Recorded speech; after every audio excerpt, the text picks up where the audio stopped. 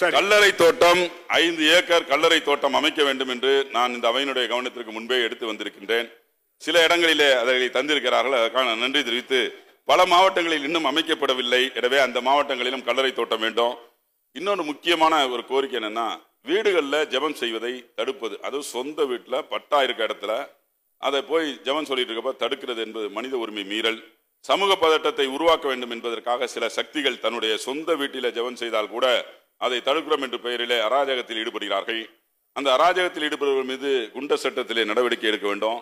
Police அதிகாரிகள் சட்டம் ஒழுங்கு பிரச்சனை என்று சொல்லி one nought seven CRPF order போடுறாங்க.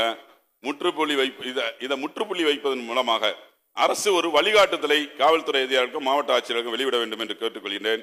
தலித்து கிறிஸ்தவர்களுக்கும் மன்னிய கிறிஸ்தவர் ஏற்கனவே இந்த அவையில் பேசியிருக்கிறேன். அதை இந்த ஒரு தீர்மானத்தை நிறைவேற்றி இந்த அவையில் இந்த தீர்மானமாக நிறைவேற்றி ஒன்றிய அரசுக்கு அனுப்பி வைத்து அழுத்தம் கொடுக்க வேண்டும். தமிழ் மொழிக்காக தொண்டாற்றிய இந்தியாவிலேயே முதன் முதலாக தமிழ் மொழி அச்சில் ஏற காரணமாக இருந்த பாதிரி ஃபாதர் பாதிரியார் சீகன் பால்க் அவர்களுக்கு தரங்கம்பாடியில மணிமண்டபம் அமைக்க வேண்டும். இன்னொன்று கடைசி